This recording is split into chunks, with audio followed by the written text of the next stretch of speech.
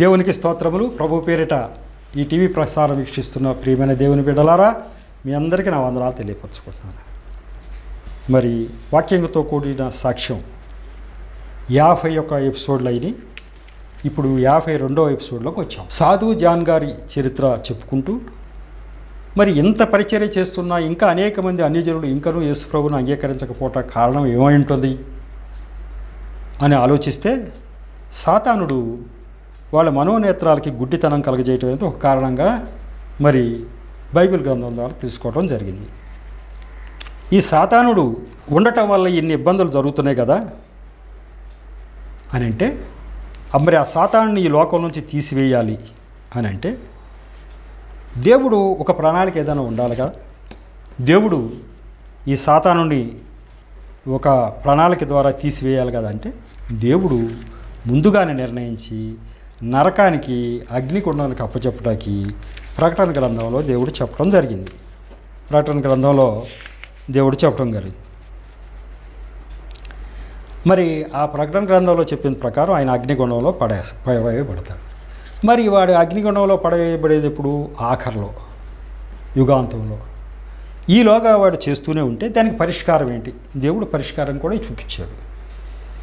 యేసు ప్రభు శిలువ మరణం తర్వాత ఆయన పేరు ఆయన రక్తం ప్రోక్షింపబడిన చోట సాతాను శక్తి పనిచేయదు.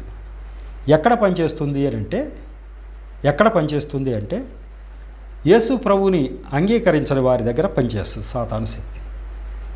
మరి అంగీకరించిన వారి గురించి దేవుడు స్వేచ్ఛ ప్రసాదించాడు ప్రజలందరికీ. బలవంతంగా అంగీకరించేటట్టు చేయటం ఆయనకి ఇష్టం లేదు. కావాలని దప్పికొనిన వారు నా దగ్గరికి రానివ్వండి. నా దగ్గరికి వచ్చిన వాడిని నేను తోసివేయను. ఎంతమంది వచ్చినా నేను తోసివేయను. కానీ రాని వాడిని బలవంతంగా తీసుకురావటం ఆయనకి ఇష్టం లేదు. నాకు అవసరం లేదు. నేను దేవుని మాట వినను అన్న వాళ్ళకి జ్ఞానం బోధించటమే తప్ప బలవంతంగా తీసుకురావటం లేదు. మరి నాకు అవసరం లేదు అన్నవాడి దగ్గర దేవుడు ఇక అతన్ని అతని వైపు ఇక చూడడు కాబట్టి సాతానుడు వచ్చి వాడి దగ్గర కూర్చుంటున్నాడు. సాతానుడు అక్కడ రాకోకుండా ఉండాలంటే వాడు దేవుడి వైపుకి రావాలి. అదే చెప్పమంటాడు. ఇదిగో నీ మనసుకి గుడ్డితనం కలగజేసిన వాడు ఫలానా వాడు. నువ్వు యేసును అంగీకరించిన రోజు నా వాడు పోతాడు. అనే విషయం చెప్పు. అయినా కూడా నా గుడ్డితనం కలగజేసినా పర్వాలేదు. సాతాను ఏం చేసినా నాకు పర్వాలా. నేను యేసు ప్రభుకి రాను అని అంటాడు ఒక ఆయన. ఇక ఆయన బలవంతం చేయదలుచుకోలేదు దేవుడు. దేవుడు స్వేచ్ఛ ఇచ్చాడు. మనిషికి స్వేచ్ఛ ఇచ్చాడు. ఆదాము హవ్వలు తప్పు చేస్తేనే వాళ్ళ స్వేచ్ఛను అడ్డుకోల తప్పు చేస్తే ఆ తప్పుకి శిక్ష వచ్చేసింది. వాళ్ళ స్వేచ్ఛ స్వేచ్ఛకి అడ్డుకోలే అడ్డుకోల అట్లాగే అనేక మంది భక్తులు కూడా వాళ్ళు తప్పు చేస్తున్నప్పుడు వాళ్ళ చేయి పట్టుకుని ఏం ఆపల. జ్ఞానం మట్టుకిస్తాడు. వాళ్ళు గ్రహించాల్సిన పూచి వాళ్ళదే. బైబిల్ గ్రంథంలో దావీది ఎంతో గొప్ప భక్తుడు. ఆయన తప్పు చేస్తున్నప్పుడు కూడా దేవుడు అన్నీ చూస్తూనే ఉన్నాడు. కానీ తప్పు చేస్తే చేసిన తర్వాత మందలించాడు కానీ చేయక ముందే ఏదన్నా ఒక శక్తి అడ్డుపడి చేయకుండా ఆపల. ఎందుకు అంటే వాళ్ళంతటి వాళ్ళు సంపాదించుకోవాలి ఆ పరలోకంలో ఆ స్థానం. మనం వెళ్ళి వాడు తప్పు చేయకోకుండా ఆపేసేస్తే ఇంక వాడేం సంపాదించుకున్నాడు? వాడు తప్పు చేయకోకుండా మనం వెళ్ళి ఆపేస్తే వాడు సంపాదించుకుంది ఎక్కడ? ఎందుకు? వాడికి ఇవ్వాలి ఆ పరలోకంలో ఆ భాగ్యం అంతా ఆ మాణిక్యపురంలో? ఎందుకే? దేవుడు వాడి క్రియల ప్రకారం వాడికి ఇవ్వాలి కాబట్టి వాడి క్రియలకి ఛాన్స్ ఇస్తాడు. జ్ఞానం మాత్రమే మనం బోధించాలి. కాబట్టి ఈ సాతానుడు రాకుండా వసి- రాకుండా ఆయన రక్తం చిందించాడు సాతాన్ని జయించాడు ఆయన పేరు పెట్టాడు వాడు రాడు కాబట్టి పరిష్కారం చూపించేశాడు. ఇదిగో పరిష్కారం. నా వైపుకు రండి. చా సాతాను వాడే పోతాడు. మేము రాము అన్న వాడి గురించి ఇంకా ఇంకా పరిష్కారం ఇంకేం చూపించేదే ఉంది నువ్వేం పరిష్కారం చూపించినా నాకు వద్దు అన్నవాడికి వాడి స్వేచ్ఛకి మనం అడ్డు దేవుడు అడ్డు తగలన్నాడు కదా. నిజమే స్వేచ్ఛకి ఎందుకు అడ్డు తగ స్వేచ్ఛ ఎవరు స్వేచ్ఛ వాళ్ళకి ఇచ్చాడు ఎవరు సంపాదించుకునే అవకాశం వారికి ఇచ్చాడు నాకు నరకమే కావాలన్నవాడు వాడి ఇష్టం. పరలోకం కావాలన్నాడు సంపాదించుకునే అవకాశం ఇచ్చాడు. నీకు సంపాదించుకునే అవకాశం ఇష్టమే తప్ప శాంతం దాన్ని తీసేయటకి అనేక మందిని శిక్షించడానికి అవసరమైనప్పుడు కూడా సాతానుడిని సాతానుడి యొక్క గొలుసు వాడి మెడలో కట్టిన తాడు దేవుడి దగ్గర ఉంది. దాని ఎంతవరకు వెళ్ళాలో అంతవరకే వెళ్తాడు. అందుకే సాతానుడు శోధనలో వస్తున్నప్పుడు కూడా దేవుడు అంటాడు వాడిని ఎదిరించండి అంటాడు. మనం నామాత్రంగా ప్రభు బిడ్డలు అయినప్పుడు మన మీద దాడి చేస్తాడు అనేక సార్లు. వస్తాడు శ్రమలు కలగజేస్తాడు వాడిని ఎదిరించండి. నా వాడి వాడి తాడు వాడి మెడలో ఉన్న తాడు నా దగ్గర ఉంది.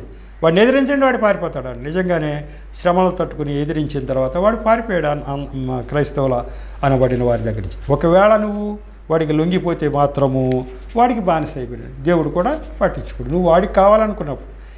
ఈ లోకంలో ఎవరు కూడా ఇద్దరు మనుషులకి మరి దాసుడై ఉండలేడు.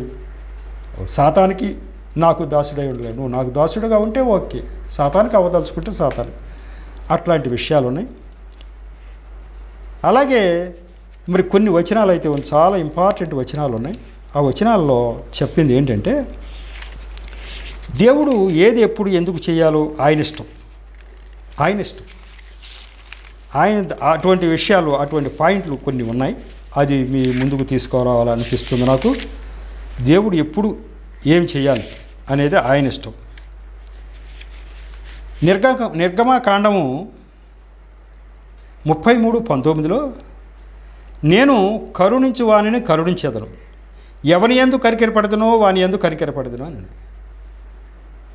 ఎందుకు అంటున్నానంటే దేవుడు ఎవరిని కరుణించాలో కరుణించే హక్కు ఆయనకుంది అని చెప్పి. అలాగే ఇంకొక కొన్ని వచనాలు ఉన్నాయి. అది ఏంటి అంటే దేవుడి యొక్క మర్మాలు రహస్యాలు మనం శోధి మనం తెలుసుకోలేము కొన్ని. ఆ- తెలుసుకోలేని విషయం ఎక్కడ చెప్పాడు అనేది నేను చూశాను. ద్వితీయోపదేశ కాండం ఇరవై తొమ్మిదో అధ్యాయం ఇరవై తొమ్మిదిలో చెప్పాడు. రహస్యములు మన దేవుడైన యుహోవాకు చెందును. అయితే మనము ఈ ధర్మశాస్త్ర వాక్యములన్నిటిని అనుసరించి నడుచుకున్నట్లు బయలుపరచబడినవి ఎల్లప్పుడూ మనవియు మన సంతతి వారియు అగునని చెప్పుదు. చెప్పుదురు అది రహస్యాలు దేవుడు వశ్యం ఏ రహస్యం ఏంటంటే ఇప్పుడు దేవుడు సాతాన్ని అగ్నికి ఆ, అప్పచెప్పాలి ఫలానా వాడు ఫలానా చోట వాడిని అప్పచెప్తానని చెప్పాడు. ఇక అంతే. ఎందుకు అప్పుడు దాకా అంటే? వాడు సాతానుడు ఇక్కడ ఉండటం వల్ల యేసు ప్రభు బిడ్డలకి ఏమి ఇబ్బంది ఏమి లేదే. యేసు ప్రభు బిడ్డలకి వాడు ఏం చేయకోకుండా నేను పరిష్కారం ఇచ్చేసానే వద్దన్నవాడికి కదా అది. కాబట్టి నేను నిర్ణయించింది నిర్ణయం. రహస్యం ఈ రహస్యాలు దేవుడైన యుహోవాకు చెందును. ఆయన ఏదైతే మనకు బయలుపరిచాడు ఏదైతే ఆజ్ఞలు అవి మాత్రమే మనం చేయాలి. కొన్ని బయలుపరచలేదా? అంతే. ఆ రహస్యాలు ఆయనవి. ఇది మనం మన చేతుల్లోకి తీసుకోవటం వీల్లేదు. కాబట్టి ఈ వాక్యాల ద్వారా దేవుడు ఆ సాతానుని మరి అన్ని జనుల మీదకైనా రాకుండా ఎందుకు ఆపేయట్లేదు? అని అంటాకి మనం ఆ యొక్క నిర్ణయం తీసుకునే హక్కు మనకు పూర్తి స్వేచ్ఛ ఇచ్చాడు. ఆ నిర్ణయం అనేది నువ్వు తీసుకున్న దాన్ని బట్టే పరలోకంలో నీకు సౌఖ్యాలు ఇచ్చాడు. అయినప్పుడు వాడిని కూడా అన్యుల జనులు కూడా సాతాను రాకుండా దూరంగా పెట్టేసి అందరికి పరలోకంలో ఏదని ఇస్తావు? నువ్వు నువ్వు నిర్ణయించుకుని నీ అంతటి నువ్వు సాతానుని జయించి బయటకు వస్తే కదా నీకు రావాల్సిన ప్రతిఫలం అక్కడ ఇవ్వాలి. నువ్వు ఏమీ లేకోకుండా అందరూ గంపగొత్తకు వస్తే నీకు ఏ ప్రతిఫలం ఏ రూపంలో ఎంత ఇవ్వాలి? ఆ మాణిక్యపురంలో అనేది ఎట్లా డిసైడ్ అవుతుంది? కాబట్టి ఆయన ఇష్టం. ఇదిగో నీకు ఏ వరకు ఎంత అక్కడ దాచిపెట్టి ఉంచాలో అంత దాచిపెట్టాలంటే ఈ సాతానుడు ఉండగానే ఆ శ్రమలు జరుగుతుండగానే ఆయన ఎదిరించి దేవుడు నామం ఉచ్చరించి దేవుడు ఇచ్చినటువంటి ఆ విజ్ఞానం పొంది దేవుడు నామ నామం ద్వారా నువ్వు ఆ పరలోకాన్ని పొందుకు పొందుకో. జయం పొందు. అది అంతే తప్ప నువ్వు అవన్నీ తీసేయాలి మాకు అని అంటా కుదరదు. కాబట్టి ఆ నిర్ణయం తీసుకునే అధికారం మనకిచ్చాడు. ఈ యొక్క మర్మాలను నేను గ్రహించింది ఏంటి అంటే దేవుడు మరి ఇలా చేస్తాడు. చెప్పాను ఆ యొక్క గుడ్డితనం కలగజేయటం అనేది మనం జనరల్గా మరి అన్ని జనులని ప్రభు వైపు నమ్మట్లేదని ఇంత తెలివి తక్కువ ఎందుకుంటున్నారు వాళ్ళు? మనకు అంత అర్థమైపోతా ఉంది వీళ్ళకి అర్థం అవ్వట్లేదేంటి అని మనం అనుకుంటా అనుకోకూడదు. ఎందుకంటే ఈ సాతానుగాడు ఆ- ఆ యొక్క వాళ్ళ మనోనేత్రాలు గుడ్డితనంగా అయినా మనం చెప్పగా చెప్పగా వాళ్ళకి అర్థం అవుతుంది.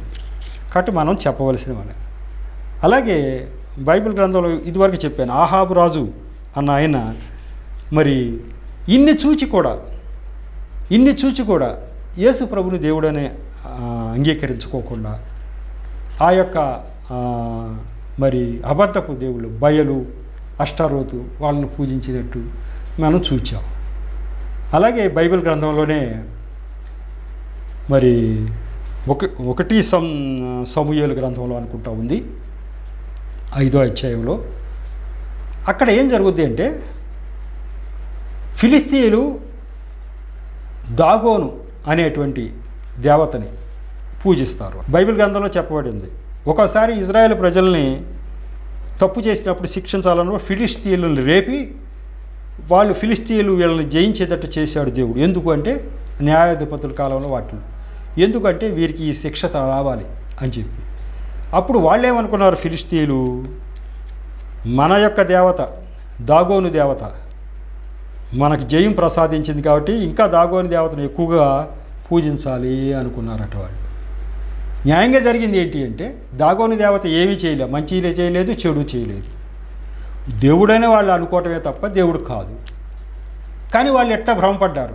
యేసు ఆ, యొక్క సృష్టికర్త అయిన దేవుడు తన ప్రజల్ని శిక్షిస్తాకి ఫిలిస్టీల్ని వాడుకోవటాన్ని వాళ్ళు ఏమనుకున్నారంటే వాళ్ళు పూజించే దేవుళ్ళే ఇదంతా చేశారని వాళ్ళు వాడుకోవటం జరిగింది.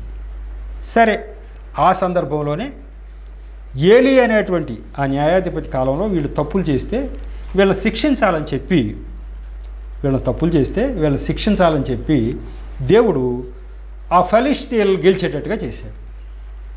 ఏలి కుమారులు తప్పులు చేశారు ఈ శిక్షించాలని వాళ్ళు గెలిచేటట్టుగా చేశారు. చేస్తే ఈ మందసం దేవుడు మందసం. మన ఇజ్రాయెల్ ప్రజలు దేవుడు మందసం యుద్ధంలో దేవుడు మందసాన్ని అక్కడ పెట్టుకుంటారు.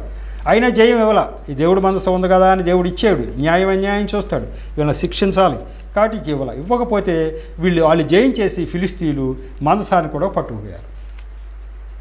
ఎక్కడికి పట్టుకుపోయారు అని అంటే ఆ అష్టోదు అనేటువంటి వాళ్ళ ఊరికి పట్టుకుపోయి అక్కడ దాగోను అనే దేవత గుడి ఉంది. ఆ గుళ్ళో పెట్టారు. ఏ- ఏది? ఒక మందసం ఒక పెట్టి లాంటిది అంతే.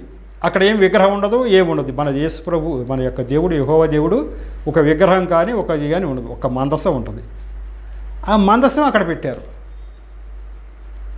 ఆ మందసం అక్కడ పెట్టి వెళ్ళిపోయారు. దాగోను దేవతకి కళ్ళు ముక్కు చెవులు చేతులు అవన్నీ విగ్రహాలు కదా ఉంటాయి. ఈ ఈ తెల్లారి వచ్చి చూసేసరికి సరికి ఆ దేవత బొక్కబోర్ల మందసం వేసుట పడి ఉంది. ఆ విగ్రహం. వాడు చూశారు ఏంటిది? మన దేవత పడిపోయింది. మళ్ళీ నిలబెట్టారట. మళ్ళీ తెల్లారేపటికి మందసం పడి ఆ యొక్క దేవత విగ్రహం పడిపోవటమే కాకుండా కాళ్ళు చేతులు తల నరికివేయబడి మొండి ఉండేటట్టుగా పడి ఉందట. వచ్చి చూశారు అమ్మో! ఈ మందసంలో ఎంత పవర్ ఉందా బాబు? ఇక్కడ అసలు విగ్రహమే లేదు. వీళ్ళకి అసలు దేవుడే లేడు అనుకుంటున్నాం మనం. మనకైతే విగ్రహం ఉంది కాళ్ళు చేతులు ఉన్నాయి అనుకుంటున్నాం మన విగ్రహాలకి. ఇవన్నీ నరికేసి పడేసి ఉన్నాయి ఈ దేవుడు చాలా భయంకరమైనటువంటి చాలా శక్తివంతుడైన దేవుడు అని చెప్పి వాళ్ళు గ్రహించి ఆ మందసాన్ని బయటికి తీసుకొచ్చారు. ఆ మందసం ఎక్కడ పెడితే అక్కడ ఏ ఊర్లో పెడితే అక్కడ పెద్ద పెద్ద పుళ్ళు పుట్టేసి జనం అందరూ చచ్చిపోతున్నారు అల్లాడిపోతున్నారు.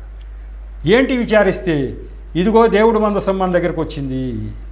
ఆ దేవుడి బిడ్డలు అని మనం అవస్థ పెట్టినందుకు ఆ దేవుడికి వ్యతిరేకంగా మనం ఈ దేవతలను కొలుస్తున్నందుకు మనకి ఈ గడ్డలను తీసుకొచ్చాడు దేవుడు. మరి మన దేవుళ్ళు ఏమైనా ఈ గడ్డలను తగ్గిస్తారా అని చూసి వాళ్ళు ప్రార్థనలు చేసుకుంటే ఏ దేవుడు ఈ గడ్డలను తీసేయలేకపోతున్నాడంట. అప్పుడు వాళ్ళకి తెలియాలిగా మన దేవుడికి శక్తి లేదు మనం పూజించేవాళ్ళు దేవుళ్ళు అయి ఉండరు ఈ మందసం పేరు మీద ఉన్న యహోవ దేవుడే దేవుడు అయి ఉంటాడు వచ్చి అది బోర్లా పడిపోవటం ఏంటి? దాని కాళ్ళు చేతులు నరికివేయబట్టం ఏంటి? ఆ తర్వాత ఈ మందసం ఎక్కువ ఉంటే అక్కడ మనకి ఈ యొక్క సెగ్గడ్లు బొబ్బలు వచ్చేయటం ఏంటి? మరి మన దేవుడు వీటిని తగ్గించలేడా? మన దేవుడు ఎదుర్కోలేడా అనే జ్ఞానం వాళ్ళకు ఉండాలిగా? అది ఏమీ లేదు సరిగదా? ఏం చేయాలంటే అసలు ఈ మందసం ఎక్కడ ఉంటే మన పని అవుటు. తీసుకెళ్ళి మళ్ళీ వాళ్ళకి అప్పచెప్పేద్దాం బాబు అని చెప్పి తీసుకెళ్ళి అలాగా మందసాన్ని ఇజ్రాయెల్ ప్రదేశానికి పంపించేస్తారు. వాళ్ళు పంపించిన తర్వాత వీళ్ళకి ఈ యొక్క బొబ్బలు గడ్డలు తగ్గినాయి. అప్పుడు వాళ్ళు ఏం గ్రహించాలి? మనము విగ్రహాలకి రూపురేఖలు పెట్టేసి కాళ్ళు మనం చెక్కుకునేగా విగ్రహాలు. ఎన్ని కాళ్ళు కావాలంటే అన్ని ఎన్ని చేతులు కావాలంటే మనం పెట్టుకునేగా పెట్టేసి శక్తివంతుడు అని తెలియాలంటే ఎక్కువ చేతులు పెట్టుకో కొంతమంది ఎక్కువ చేతులు పెడతారు. నాలుగేసి చేతులు ఆరేసి చేతులు ఎనిమిది చేతులు పెడతారు. శక్తి ఉందని చెప్పడం కోసం ఇష్టం వచ్చినట్టు పెట్టేసి ఇదే దేవుడు. ఇదే దేవుడు అని చెప్పి పూజిస్తూ ఉన్నామే. అసలు దేవుడే కాదన్నమాట ఇదని గ్రహించొద్దా? గ్రహించలేదు సరిగదా? మన దేవుడే దేవుడు. ఆ దేవుడు పక్క మా భారీ పోయింది మనకి. అనుకున్నారు కానీ వాళ్ళు ఎవరు దేవుడి వైపు సూచిన వారు కారు. మరి వాళ్ళ మనోనేత్రాలకి గుడ్డితనము ఎవరు కలగజేశారు? వీళ్ళ కళ్ళ ముందే జరుగుతున్నా కూడా వీళ్ళ కళ్ళ ముందే జరిగినా కూడా వాళ్ళు ఈ గ్రహించలేకపోవటం కారణం. కాబట్టి ఆనాడు కానీ ఈనాడు కానీ ఆనాడు కానీ ఈనాడు కానీ కళ్ళ ముందే ఎన్ని కార్యాలు జరుగుతున్నా కూడా దేవుడి వైపు చూడని వారు అనేక మంది ఉన్నారు. అనేక మంది ఉన్నారు. ఉండటా కారణం సాధారణ. వాళ్ళంతటా వాళ్ళు మనం చెప్పిన జ్ఞానం ద్వారా ఈ దేవుడిని వెతకటం ఏ రోజు ప్రారంభిస్తారో అసలు దేవుడు ఎవరా అని ఆలోచిస్తారో ఆ రోజున దేవుడు కార్యాలు చేయటం బి- బిగించేస్తాడు ఆ రోజున దేవుడు కార్యాలు చేయటం బిగించేస్తాడు వాళ్ళ హృదయాలు. అసలు నాకు వద్దు మర్రో అని అన్న వాళ్ళకి దేవుడు చేయగలిగింది ఏమీ లేదు. కాబట్టి ఇట్లా ఇటువంటి ఉదాహరణల ద్వారా ఆనాడు కూడా మరి ఈ యొక్క దేవుళ్ళు దేవతలని అనేక మందిని ఆరాధించారు. వాళ్ళు దేవుడి కార్యాలు వాళ్ళు చూస్తున్నా కూడా వాళ్ళ వైపు దేవుడి వైపు చూచిన వారు కారు. ఐగుప్తు దేశంలో ఎన్ని కార్యాలు జరిగినప్పుడు అక్కడున్న వాళ్ళు ఎవరైనా కూడా ఈ ఇజ్రాయెల్ ప్రజల యొక్క దేవుడే నిజమైన దేవుడు. మా ఆ యొక్క పది అద్భుతాలు చూసిన వాళ్ళు. మరి మన దేవుళ్ళు ఎవరు? దేవుళ్ళు కారని వాటిని విసర్జించి ఇజ్రాయెల్ ప్రజల యొక్క దేవుడి వైపు చూచారా? ఆ ఇజ్రాయెల్ ప్రజల దేవుడు ఇక్కడ ఉంటే మన మన పని అవుటే. మనల్ని దేవుడు ముట్టి చంపేస్తాడు అని చెప్పి వాళ్ళు వెళ్ళిపోతే చాలే అని చెప్పి వాళ్ళు వెళ్ళిపోయిన తర్వాత మేలకుండా కూర్చున్నారు. అంతేగాని ఆలోచించారా ఎవరైనా? మన దేవుళ్ళు అసలు దేవుళ్ళు కాదనుకుంటా అని ఎవరైనా ఆలోచించారా? ఈ ఆలోచించుకోకుండా చేసింది ఎవరు అని అంటే ఈ యొక్క సాతానుడే చేస్తాడు. సాతానుడే చేస్తాడు. అట్లా చిన్ని చిన్ని జిమ్మిక్కులు చిన్న చిన్న విషయాలు ఆయన చేయగలుగుతాడు సాతానుడు. ఆ సాతానుడికి మరి అవి శక్తి దేవుడు ముందు ఇచ్చాడు. ఇచ్చింది వాళ్ళు వెనక తీసుకోడు కాబట్టి ఆ శక్తితో ఉంది. అలా ఉండటం వల్ల అలా ఉండటం వల్ల కూడా దేశానికి కొంత అవసరం వస్తూ ఉంది. ఎవరు? యోగు అనేటాన్ని మరి శోధించాలి. ఇంకనూ సువర్ణంగా ప్రకాశింపజేయాలి అనుకున్నప్పుడు దేవుడు ఆయన్ని శోధించటానికి ఈ యొక్క సాతాన్నే వాడుకున్నాడు. ఇదిగో నువ్వు అతను శోధించు కానీ అతను ప్రాణం మట్టికి తీయొద్దు అని చెప్తాడు. అంటే సాతాను దేవుడి కింద ఉన్నవాడా? పైవాడా? దేవుడి కింద ఉన్నవాడే. ఏదైనా చేయాలంటే దేవుడు పర్మిషన్ కావాలి ఆయన దేవుడు చెప్తాడు ప్రాణం తీయద్దు నువ్వు ఎంతనో శోధించుకో శోధించుకో శోధించుకో శోధించుకున్న కొంది ఈయన సువర్ణంగా మారిపోయాడు. ఇంకా గట్టి పడిపోయాడు. పరలోకంలో ఆయనకి బంగారం లాంటి అమూల్యమైనటువంటి అవి దొరికేంతగా ఆయన ఈ లోకంలో కూడా ఆయన ఎంతైతే కోల్పోయాడో అంతకంతకి దేవుడు ఇచ్చేయటం జరిగింది. కాబట్టి సాధారణ ఆ విధంగా ఉపయోగపడతా ఉంటాడు. సాతానుడు యేసు ప్రభు వారు వచ్చినప్పుడు కూడా సాతానుడు శోధించాడు. సాతానుడు శోధించాడు. ఈడెవడు సాతానుడు? యేసు ప్రభు పేరు చెప్తే పారిపోవాలని ఈయన చే- ఈయన మెడలో ఉన్నటువంటి తాడు యేసు ప్రభు చేతిలో ఉంటుంది కదా. వీడెవడో వచ్చి యేసు ప్రభుని శోధిస్తాకంటే ఈ యొక్క లోకధర్మం ప్రకారం అందరు ప్రజలు ఏ- ఏ రకంగా అయితే ఎదుర్కోవాలో ఆ రకంగా జరగాల్సింది. సాతానుని దేవుడు ఎదుర్కొని ఆయన చెప్పిన ప్రతి దానికి కూడా బైబిల్ గ్రంథాన్ని ఆధారం చేసి ఆన్సర్ చెప్పాడు సాతానుడు ఏమయ్యాడు? ఓడిపోయాడు వెళ్ళిపోయాడు నువ్వు కూడా అలాగే చెయ్యి. యేసు ప్రభు మాదిరి చూపించిపోయాడు మనకి. సాతానుడు వస్తాడు. సాతానుడు ఎవడో? సాతానుడు ఉంటాకి లేదు అంటాకి లేదు నువ్వు. నేను ఇక్కడ నరావతారంలో యేసు ప్రభు రూపంలో వచ్చినప్పుడే ఆ సాధారణుడు ఎవడో ఉంటాకి లేదు అనలా. ఉండని వాడు ఉండగానే నేను యేసు ప్రభు నేను దేవుణ్ణి ఆరాధించగలను. వాడు అడిగిన దానికల్లా బైబిల్లోంచి ఆన్సర్లు నేను చెప్పగలను. అని చెప్పి చెప్పాడు. నువ్వు కూడా అలాగే చెప్పు. సాతాన్ని జయించే మార్గం ఇదే. నేను మాదిరి చూపించెళ్ళా ఆ మాదిరి ప్రకారం నువ్వు ఉండు అని దేవుడు చెప్పి వెళ్తుంది. సాతానుడు ఆ యొక్క దేవుడు పర్మిషన్ లేకుండా ఏది కూడా చేయలేడు. ఒక సాతాన పో అంటే పోతాడు ఎప్పుడైనా పోతాడు. కూడా పేతుడి మీద ఆవహించి మరి శిలువ మీదకి వెళ్ళిపోతూ ఉండగా అయ్యా నా ప్రాణమైన అడ్డుపడేస్తాను. మీరు శిలువ మీదకి వెళ్ళనివ్వను అంటుంటే అది అంత ఆ యొక్క ఎవరు? సాతాను అతని మీదకి వచ్చి ఆ పని చేపిస్తున్నాడు. ఎందుకు? శిలువ మీదకి ఎక్కకుండా ఉంటే ఆ పుణ్యం అంతా మనకు రాకుండా అయిపోద్ది. ఈ ప్రజలందరికీ ఆయన శిలుయాగం జర ద్వారా జరగవలసిన మీరు జరగకుండా పోద్దని ఆ పేతురులో దూరి చేస్తున్నప్పుడు సాతానా పో అంటాడు. పేతురుడు మాట్లాడు. పేతురు ఇట్లా అంటుండగా అంటే అర్థం ఏంటి? సాతానుడు అక్కడ అడ్డు తగులుతున్నాడు. నాకు శిలుయాగం జరగాలి. అందరూ సిలువ వేయి వేయి అని చెప్పాలి. వాళ్ళు నన్ను సిలువ వేయాలి. వేస్తేనే ప్రజలకు లాభం. దీన్ని అడ్డుకోకూడదు ఎవరు? అనే దేవుడు వాళ్ళ మనసులకు కొంచెం ఆ యొక్క నిద్ర మత్తు కలగజేశాడు. లేకపోతే ఏమంటే పన్నెండు మంది శిష్యులు పన్నెండు మంది శిష్యులు పేతులు అంటాం కాదు పన్నెండు మంది శిష్యులు కూడా ఇన్ని ఆశ్చర్య అద్భుత కార్యాలు చేసినప్పుడు మూడున్నర సంవత్సరాలు ఆయనతో తిరిగిన తర్వాత ఇదిగో రే నన్ను పట్టుకుంటారు రేపు వస్తారు నన్ను సిలివేసేస్తారు అని చెప్పి దేవుడు చెప్తా ఉంటే అయ్యా ఎవడో మిమ్మల్ని పట్టుకునేది? మిమ్మల్ని ఎట్లా సిలివేస్తారు? ముందు మమ్మల్ని వేసుకోవాలని మమ్మల్ని చంపండి అని అందరూ పన్నెండు మందికి మీ మీ చుట్టూ చేరి ఉంటాం. మా తలలు నరికిన తర్వాత యేసు ప్రభు వైపు చూడండి అని అంటాం అన్ అనొచ్చుగా. ఎందుకల్లా ఆయన నన్ను సిలివేసేస్తారంటే వాళ్ళు ఏం మాట్లాడతలా? ఏంటి అంటే దేవుడు వాళ్ళలో కొంత మత్తు కలగజేశాడు అవసరం. పేతుడితో సహా అందరికీ కలగజేశాడు. పేతుడి దగ్గర సాతాను కూడా జ్వరపడ్డాడు దేవుడు కలగజేసిన మత్తుని తొలగించి ఇదిగో చూడు యేసు ప్రభువుని మీ దేవుణ్ణి సిలువేస్తున్నారు నువ్వు అడ్డుపడవా అన్నట్టు అసలు మత్తులోంచి బయటికి తీసుకొస్తున్నాడు. నో సాతానా నువ్వు పో. తీసుకురావద్దు. వాళ్ళు అట్లనే ఉండాలి కాసేపు. నా సిలువ యాగం అయ్యేంతవరకు కూడా వాళ్ళు అట్లానే ఉండాలి అని చెప్పాడు. కాబట్టి పోయాడు సాతాన్. కాబట్టి అట్లా సాతానా పో అన్నప్పుడు పోయినవాడు ఆ యేసు ప్రభువును అరణ్యంలో తీసుకెళ్ళి మరి శోధించినప్పుడు మొట్టమొదటిగా సాతానా పో అని పంపించేచ్చుగా పంపించాలి ఆడంతటా ఆడే పోయేటట్టుగా చేశాడు. ఎట్లా? వాడు చెప్పిన దానికల్లా ఆన్సర్ మీరు కూడా అలాగే చేయాలి. నా బిడ్డలు సాతాను వస్తాడు ఒకసారి. నా బిడ్డలు ఎవరు నేను చేసినట్టు మీరు చేయాలి. ప్రతిదానికి మీరు ఆన్సర్ చెప్పండి. కాబట్టి ఆ విజ్ఞానాన్ని మీరు పొందుకోండి. ఆ విజ్ఞానం మాకెక్కడి నుంచి వస్తుంది అంటే నీకు రావడానికే ఎంతమంది పాస్టర్లు ఎంతమంది సువార్థికులు ఈ టీవీ పరిచర్యలు ఈ యొక్క వాక్యం ద్వారా మీకు చెప్పేది. ఇప్పుడు నేను చెప్తున్నదంతా మీకు విజ్ఞానం కాదా? ఇదంతా నేను చెప్తున్నానా? దేవుడు చెప్పిస్తున్నాడు. ఎందుకంటే ఈ విజ్ఞానం ద్వారా మీరు వెలుగు కావాలి. ఈ విజ్ఞానం ద్వారా సాతాన్ని ఎదిరించాలి. ఎవరైనా ఈ పక్కన్నవాడు సాతాన్ని ఎదిరించలేకపోతా ఉంటే ఈ జ్ఞానం చూపించి వాళ్ళని ఎదిరించేటట్టుగా నిలబెట్టగలగాలి. కాబట్టి ఇటువంటి మర్మాలన్నీ మనం తెలుసుకోవాల్సి ఉంటాం. కాబట్టి దేవుడు ఉన్న దేవుడు మరి ఇంకొక ఇట్లా దేవుడు వచ్చి మాట్లాడటం నేను అన్నిటిగా మరి అరవై సంవత్సరాలు బ్రతికాను. దేవుడు మాట్లాడటం అనేది నేను ఎక్కడా వినలేదు చూడలే. ఏదైనా మరి ఇటువంటి జిమ్మిక్కులు ఎక్కడైనా జరిగినాయేమో నాకు జరిగిన పరిధిలో ఎక్కడా లేదు. అయితే ఎన్ని విషయాలు చూసినా నా బంధువులే మరి నా బంధువులు ఒకళ్ళిద్దరు ఉన్నారు. వాళ్ళకి నేను ఈ విషయాలు తెలిసిన తర్వాత ఇట్లా మీకు ఎంత విస్తీగా చెప్తున్నా అంతకంటే ఎక్కువ చెప్తున్నా. టీవీ చూస్తున్నారు ఆ యొక్క మహిమలు చూస్తున్నారు అన్నీ చూస్తున్నారు. చూసిన తర్వాత యేసు ప్రభువుని నమ్మమంటే మా ప్రాణం పోయిన మేము యేసు ప్రభు ఉన్నాము అన్నారు. ఎందుకు అన్నాం పోనీ మీరు ఆరాధించే దేవుళ్ళు దేవుడు అనే ఏమన్నా ఒక రుజువు మీకు ఏమైనా కనపడిందా? మీరు ఎప్పుడైనా చూసారా మీ పూర్వీకులు కనపడిందా అంటే లేదు. అయినా మేము ఆ దేవుళ్ళని వదలం. ఏం మహిమ లేదు మేము పూజించే వాళ్ళం మేము ఎక్కడ చూడలే దేవుడి మహిమ. ఏది ఉండదు. యేసుప్రభు వారి భక్తులైతే చేస్తారో ఆయన మహిమ మేము కళ్ళ ముందు చూస్తున్నాం. కానీ మా వాళ్ళు ఏం చేయరు. అయినా మేము వాళ్ళని వదలం. మేము యేసుప్రభు నమ్మం.